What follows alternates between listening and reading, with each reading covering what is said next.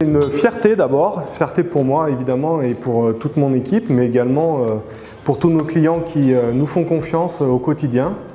être performant, c'est une, une, chose importante, mais c'est surtout un esprit d'équipe et une aventure collective.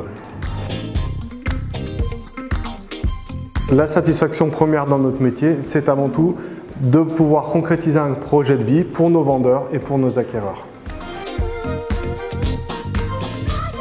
c'est assez simple, on va essayer d'accompagner nos clients euh, dans leurs projets immobiliers et ça passe par avant tout des explications, l'envers du décor, comment va se passer une transaction immobilière, les règles à respecter et un accompagnement de A à Z.